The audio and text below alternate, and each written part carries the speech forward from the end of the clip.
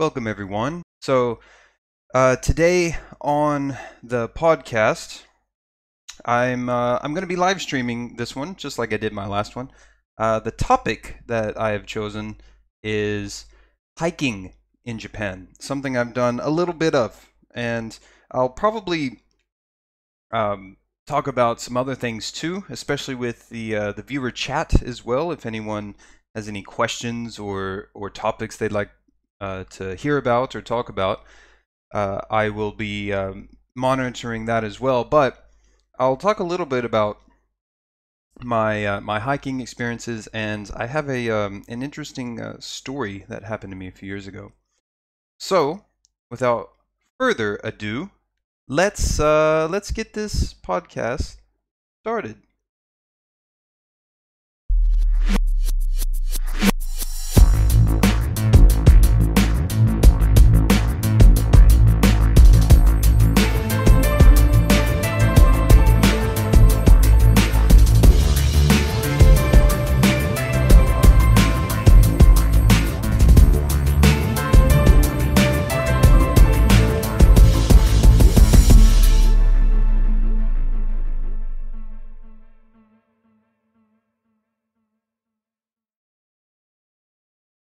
Okay.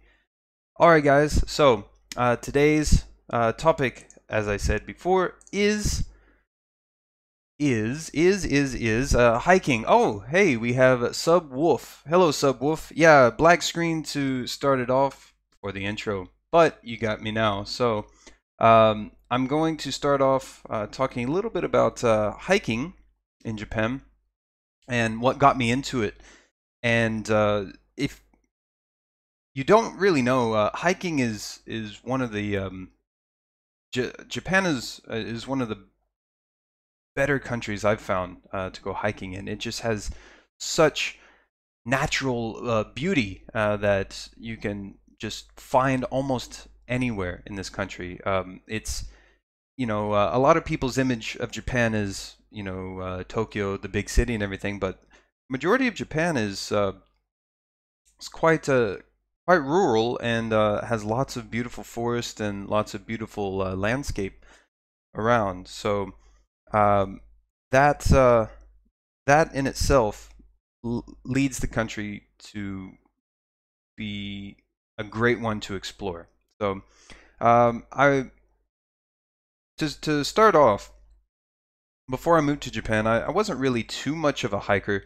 I enjoyed the outdoors and camping a little bit, but I'm I never really went uh, hiking too much, but uh, you know, I would I would do it occasionally, and you know, in in Texas, I find North Central Texas, while it has its own beauty, it's just not uh, for me. It's not that fun to go around um, hiking there. I mean, I, I've I grew up there, so I've seen it all. I, I feel like, but when I moved here, um, a coworker at uh, the job I worked at at the time, he he was really into hiking, and um, he invited me to to go hiking. Uh, invited a few of us to go hiking with him, and that was my first uh, hiking experience in Japan.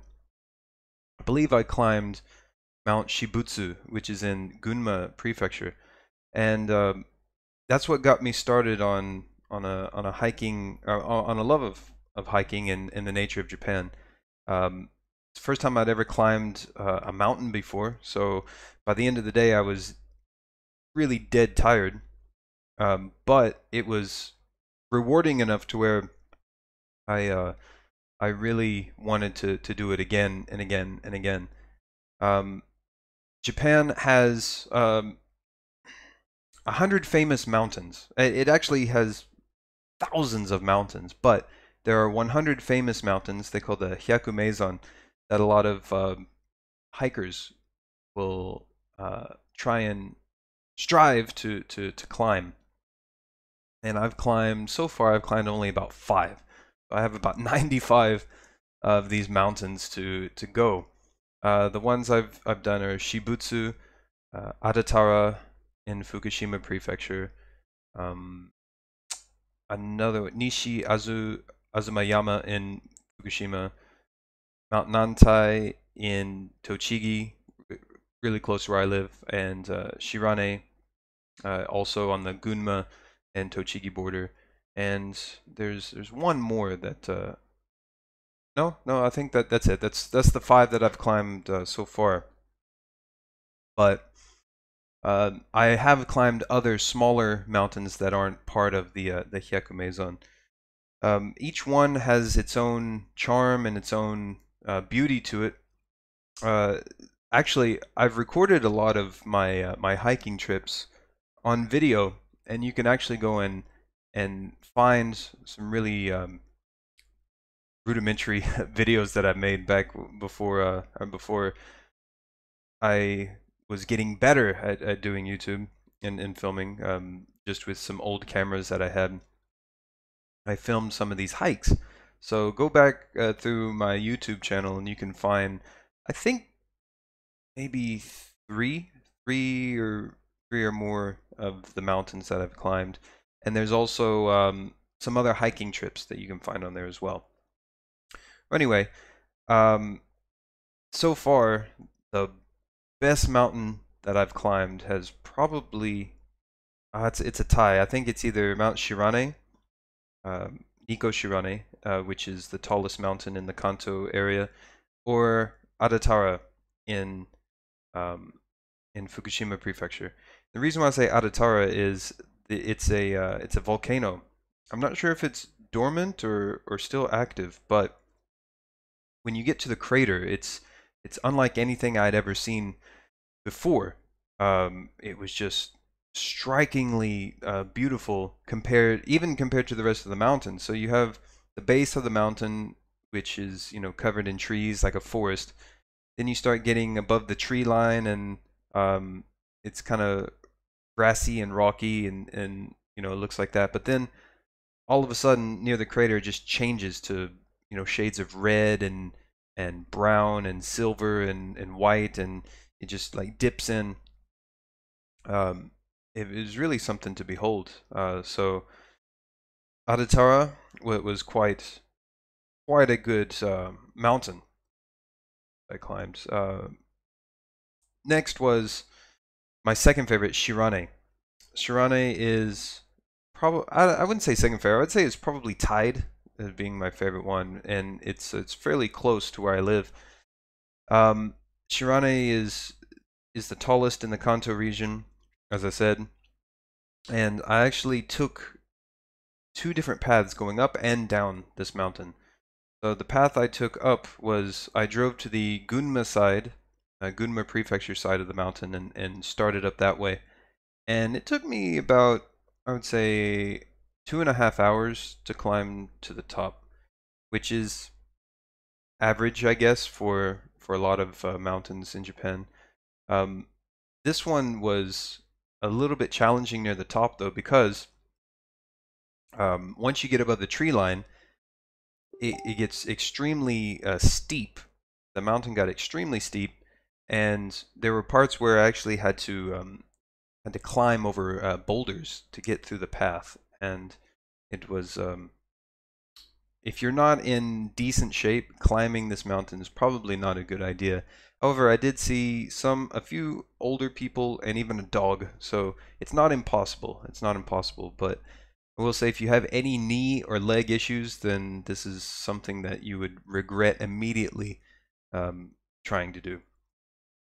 But uh, I got to the top, and unfortunately, I didn't leave early enough uh, to get to when I got to the top of this mountain. It wasn't a cloudy day, but it was later enough in the day to where some clouds moved in and blocked a really good view of uh, that you could get from the top of the mountain. It was still sunny at the top, but a mountain that high, you should be able to see all the way to um, Tokyo easily and and see Tokyo. But I wasn't able to do that because of the cloud cover. It was high enough to where you could see a little bit of the um, curvature of the Earth. So that's that's really interesting. If you've never been high enough, um, like in a plane or or on a mountain or anything, to see the slight curvature of the Earth, it's it's really something kind of trippy to look at. Um, and anyone anyone out there who's into the uh, the flat Earth uh, bullshit that's around on the internet right now, just have them climb up to um, to the top of a- any tall mountain. Uh, let's see. Oh, hey, we got uh, another viewer in. Uh, what's your favorite hiking trail in Japan? Um, I haven't done many trails.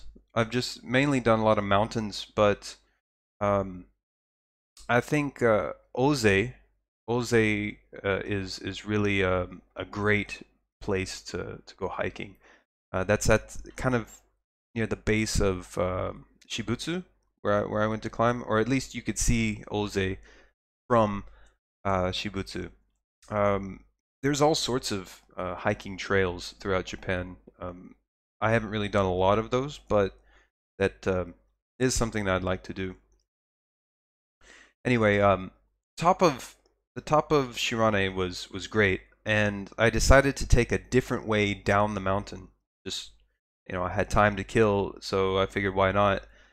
And as I said, it took me about two and a half hours to climb up the mountain. On the way down, by the time I got back to the starting point where my car was, it was probably four and a half to five hours after I left the summit. So uh, it actually took twice as long to go down the mountain as it did climb up. And actually, at one point, just when I thought that I was at the bottom, I hit a, a really flat area, lots of grass and, and everything.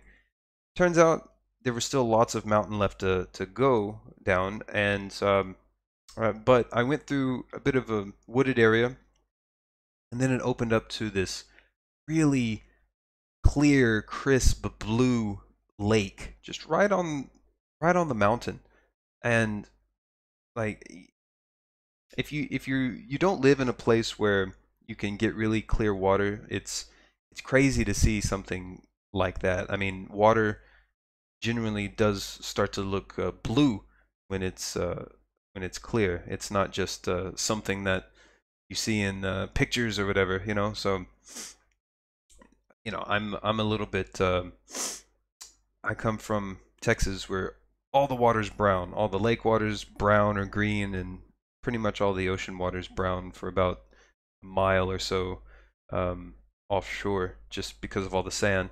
So I'm not used to seeing uh, beautiful rivers and beautiful lakes. When I do come across it, it's quite nice. Anyway, I passed that lake, and at this point, I'm extremely uh, tired, extremely tired. But I'm I'm still hiking down the trail to get back to my car, and I see a a deer grazing in the woods uh, close by, and he's close to the trail. He or she is close to the trail that I'll be uh, hiking on. And I notice the closer and closer I get, the deer's not moving at all. I mean, she's eating grass and she's moving her head around and looking around, but she's not moving her position.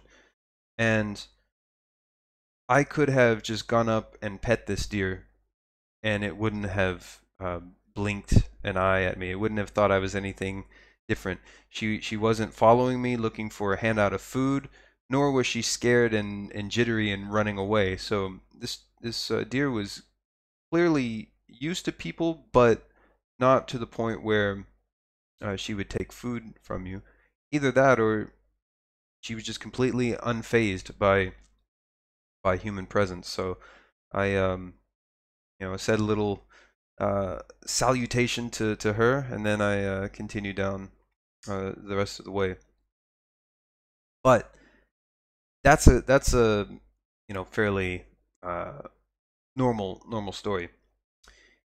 I did almost fall off a mountain uh, a few years ago here in Japan and it was because I was very ill prepared for the mountain that I was going to climb.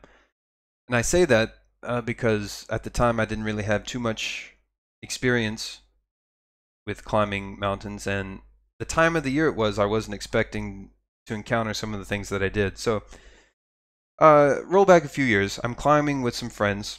We we went to Nishi Azumayama Mountain uh, in uh, Fukushima Prefecture, I believe. And this is in June. It's in the month of June. It's uh, it's not hot outside, but you know, it's it's fairly warm. But just in case, you know, I wore um, blue jeans and a light uh, jacket just in case I got cool at the top, which it's usually cooler at the top of the mountains. And I um, so I, I thought, okay, some nice um, some nice jeans, little jacket, backpack with uh, lunch should be okay to go, right? Well, the first uh, the first half of the mountain was was fine, except um, we we climbed up a trail that was kind of like a ski slope because uh, in the wintertime it's used as a as a ski mountain. But uh, we were climbing up the ski slope. Then we started getting into the woods, and around this time there were the the most giant like um, I guess you could describe them as horse flies. They're just giant flies that were just buzzing all around. And I'm not talking about like a little like a cloud of house flies that you would walk into, which is gross enough. I mean, these things were um, how do I say? Maybe about the size of a small bullet or something. That's how big these suckers were, and there weren't just four or five spinning around your head at the at the same time. There were like twenty, so it was um, it's pretty gross. Pretty gross having all those things. You, you you know your fears. You don't want to open your mouth while talking and have them go, you know, like fly into your throat. So, um, luckily those those little bastards didn't last too long, but trying to avoid them, we kind of got turned around in the woods and got a little lost. Um, we were still able to find our way back to the trail, which is cool. A little bit of lost time. Um, once the big trouble though started once we got above the tree line. I was thinking June, there's not going to be anything um, perilous on the mountain other than you know having uh, maybe some steep steep sides and maybe uh, maybe a couple of boulders to climb over. No, uh, even in June, the top of this mountain was still covered in snow, and this was like an icy sort of slightly melted snow. And the shoes that I had were worn out old tennis shoes that even the cleats on the bottom were a bit smoothed out, so they weren't um, they weren't even really good for gripping onto anything.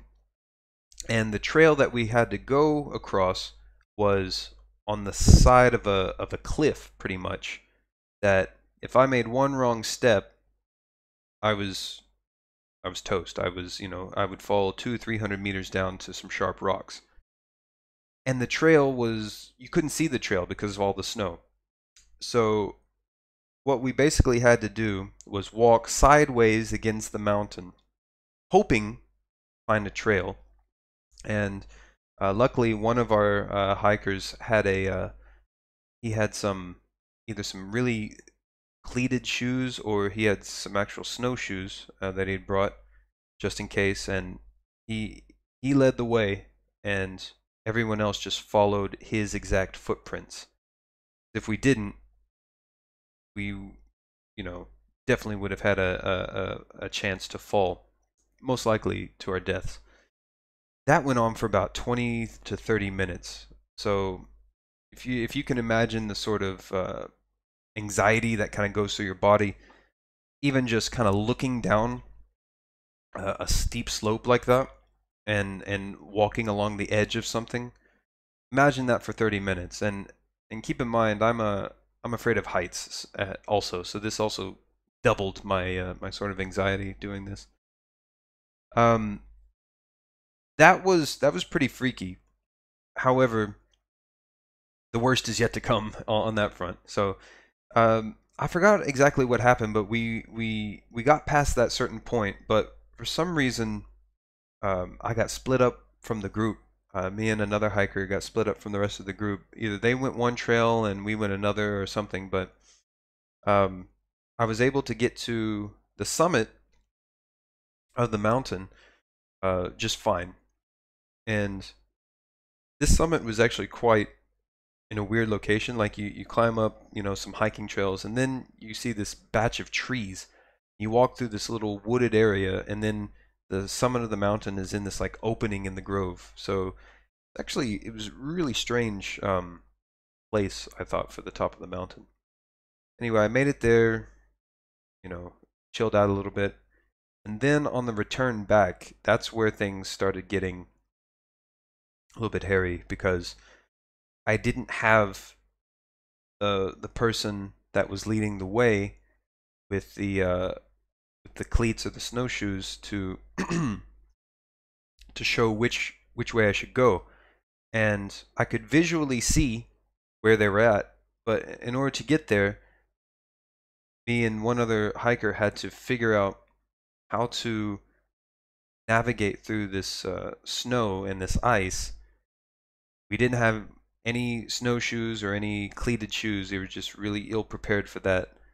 And um, just one wrong little step, and my shoes were just like slick on the ice. Just you know, one wrong move, and I'm I'm gone.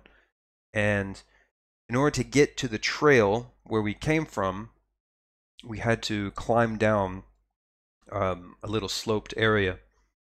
And uh, with a stick, we kind of made rudimentary steps along the way, but we didn't know how even how deep the snow was. We didn't know if if it was just a few inches and then we'd fall through or, or not. And we couldn't see where the actual legit uh, hiking trail was.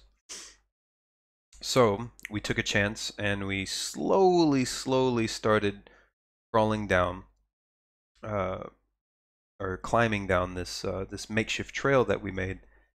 And the the guy I was with, he went ahead and he got to the, the, the bottom of the little slope, found the trail, just waiting on me to come down. And there were like uh, tree branches sticking out of the snow. So I kind of used those for a little bit of leverage. And on the right side of me was the trail, and on the left side was just slope kept going down, down, down, down, down, down, until eventually there were rocks. so I'm putting one foot in front of the other, and what happens? The uh, my foot just slips out from under me, and I go tumbling down the slope. And if it weren't for two things, I probably would have been dead. Uh, one being a, a, big tree branch that kind of broke broke my um, tumble. I was able to hold on to, and then my friend was down um, close enough to grab my leg, and so me holding on to one branch and him holding on to the leg kind of pulled me over to uh, to the trail. Um, I was really grateful for that uh, because uh, who knows what um, what would have happened if he if I was alone or that tree branch wasn't there. So I'm uh, that was probably the most dangerous situation I'd been in on the mountain, and from that point on, no matter what time of the year it was I was climbing, I always I made sure and I I bought a proper pair of hiking boots after that. I always prepare um, just in case there's there's a situation like that again. And um, so the most dangerous part was was over, but I still had uh, some interesting uh, things happen. So we're we're far far behind the rest of the group at this point, and they're just probably waiting on us at the bottom.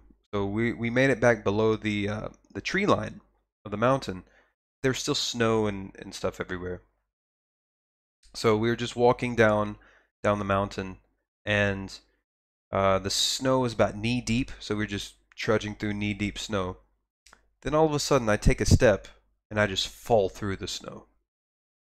Um, apparently, there was like a little drop off, but the snow was the same height near the tree, and I, I stepped and I fell about six feet down uh, in this kind of somewhat snow not really a cave, but uh, part of, you know, it kind of collapsed in on itself, and I was able to kind of dig my way out and and get back to the trail.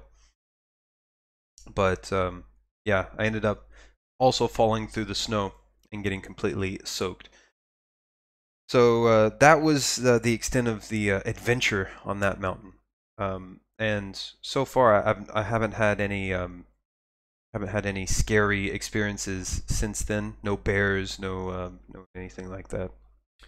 Uh, let's see. Internationate. Internationate. Uh, what part of Japan do you live in? I live in Tochigi Prefecture, which is about 100 kilometers north of Tokyo. Uh, I live in Utsunomiya, pretty medium-sized city in Japan, but it's uh, it's close to Nikko. It's close to a lot of nature, so there's a lot of uh, hiking spots around. Yeah, yeah. But anyways, um, yeah. If if um, you guys have any um, stories that you'd like to share of your hiking experiences, uh, that'd be great to hear. But uh, for me, I've only been I've hiked uh, one time this year so far, and I have a few other spots uh, that I'm planning to do this month just to avoid uh, any and all the uh, snow uh, that may have still been on the mountains. So, anyways, uh, that's that's pretty much it for for what I have for what I want to talk about um, in terms of hiking. So. Uh, a little bit of a short episode this time, but no worries. I'll see you guys again for the next one. make sure to like, subscribe, uh, share the videos if you like it on any of your uh, preferred social media outlets. Um, I will be. I'll, I'll see if I can try and do this once a week. Once a week, and of course, if you guys have any feedback uh, at all about any topics you want me to talk about or any questions you might have, send them to my email, which I'll send below. And uh, I'll address them in the next uh, podcast. Also, uh, you can once this stream is done, you can find this episode up on my YouTube channel, but it will also be available on SoundCloud and iTunes when it's uh, when it's done. So, uh, if you would prefer to listen to it on your commute or, or anywhere else, it, you'll have a nice little podcast to uh, to download as well. So yeah, thanks, thanks you two for uh, joining and listening to my story, and thanks for everyone out there uh, listening ahead of time uh, in the future. Whenever you're listening to this episode, thank you so much. I appreciate it, and I'll see you guys, and I'll talk to you guys next time.